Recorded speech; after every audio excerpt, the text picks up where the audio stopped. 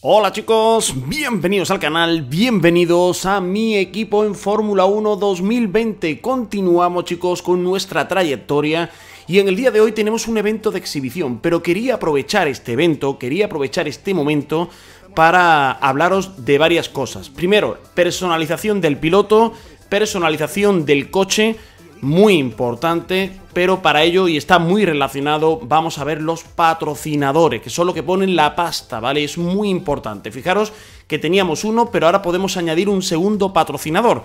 Es muy importante que siempre que podáis añadáis más patrocinadores. ¿Por qué? Porque estos son ingresos. Y obviamente un equipo tiene gastos, como es el piloto, el segundo piloto, pues las reparaciones, o sea, hace falta ingresos para poder contrarrestar y poder seguir creciendo. Fijaros, hay diferentes opciones, ¿vale? Por los valores son el duración del contrato, los días, ¿vale? Te puede interesar uno largo, uno corto, pero lo más importante es el ingreso semanal y la bonificación por objetivos. Me explico. Ingreso semanal es en cada carrera o en cada semana, pues constantemente nos van a ingresar esta cantidad, 127,5 o lo que corresponda.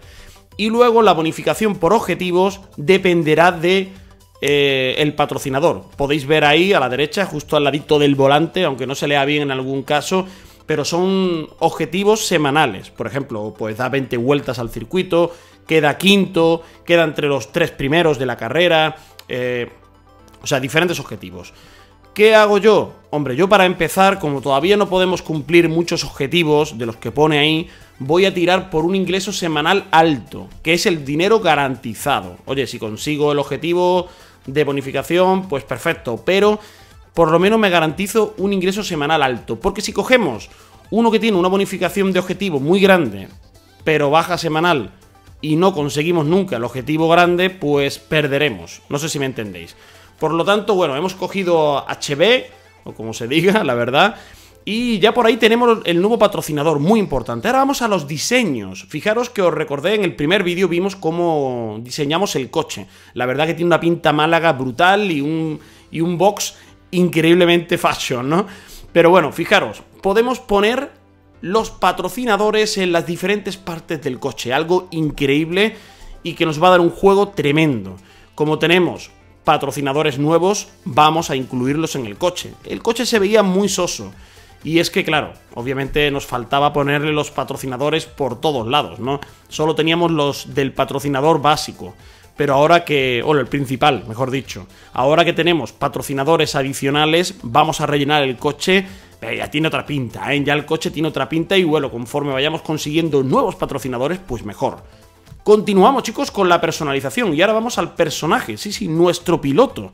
Recordar que lo pusimos más o menos como encartó, pero ya ha llegado el momento de cambiar eso. Vamos a ponerle un casco y como tengo la edición deluxe de Michael Schumacher, vamos a ponerle un casco de Michael Schumacher, uno de estos clásicos increíbles. Y recordar que si ganáis el sorteo que estoy sorteando, el juego que estoy sorteando, es edición Michael Schumacher, es edición deluxe también traerá estos cascos y podréis utilizarlo vosotros en vuestros equipos.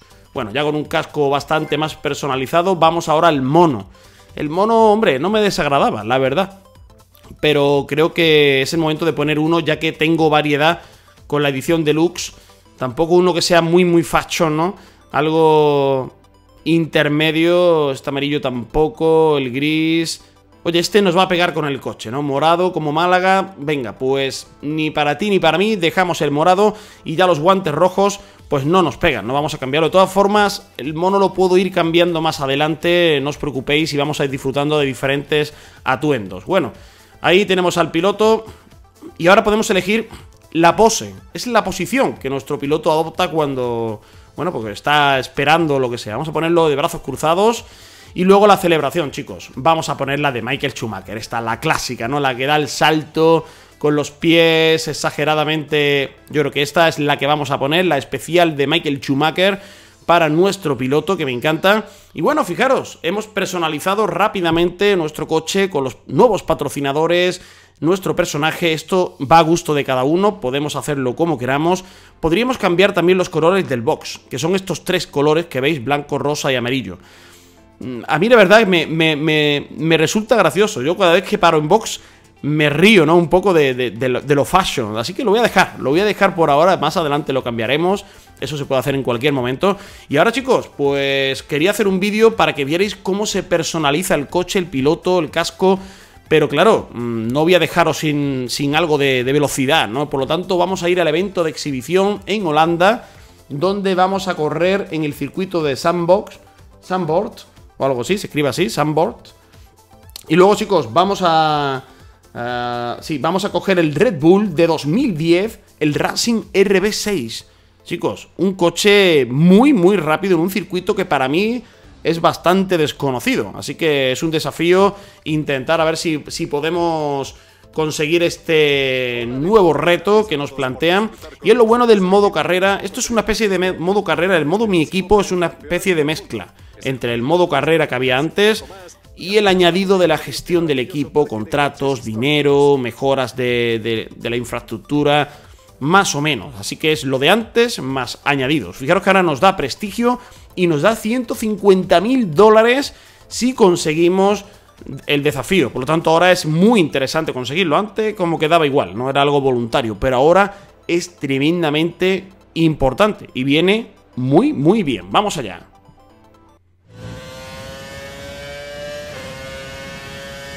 Tres, dos, uno...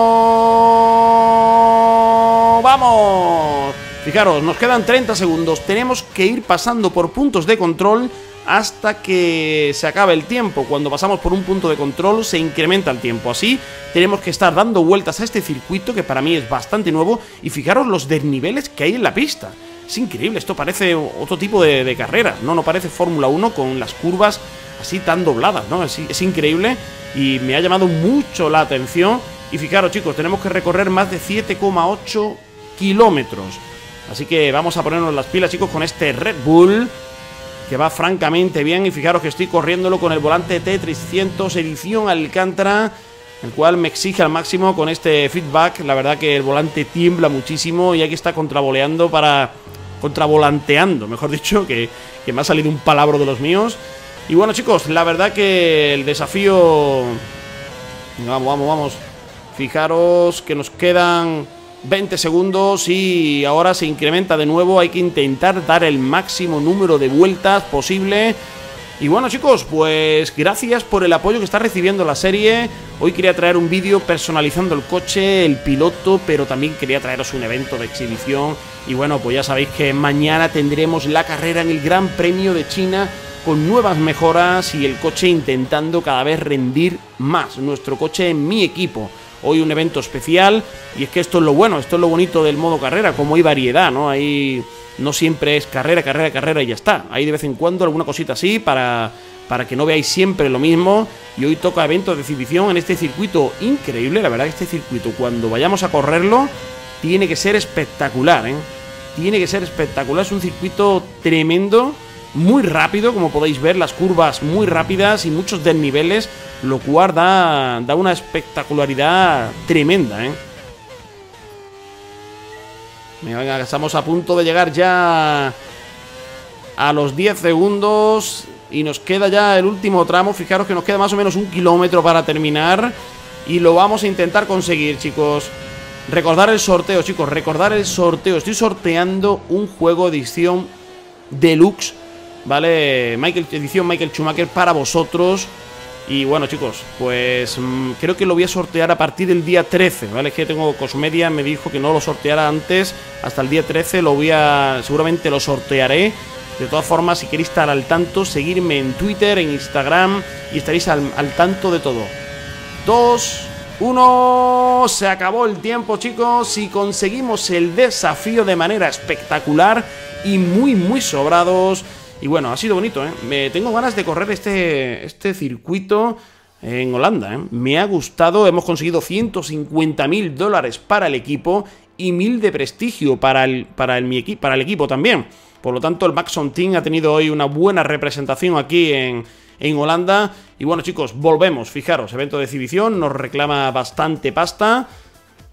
Y bueno chicos, vamos a ver, por ahí no tenemos ninguna nueva mejora, avanzamos el tiempo, fijaros que tenemos un nuevo, una nueva mejora de motor, El equipo, perfecto. Bueno, pues siguiente carrera, China. Siguiente carrera, China, chicos. Increíble. Fijaros el rendimiento del coche. Superamos a Haas y a William y estamos con Honda y con Alfa Romeo prácticamente igualados y muy muy cerca de Renault.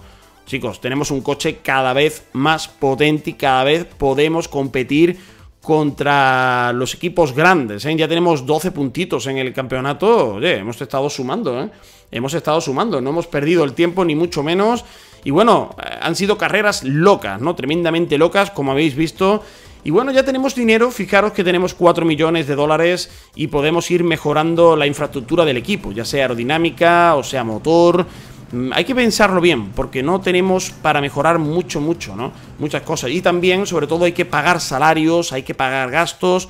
Así que hay que, pagar con, con, mesura, ¿vale? No, no, no, no nos vayamos a precipitar y vayamos a entrar en números rojos y tener problemas de gestión, que aquí lo que importa es la velocidad y la carrera. Chicos, nos, os espero en el siguiente vídeo en el Gran Premio de China, como siempre mañana a la misma hora. Un saludo para todos y en especial a Pablo Fernández. Nos vemos en el siguiente vídeo, chicos, con la carrera Gran Premio de China. Hasta luego, chao.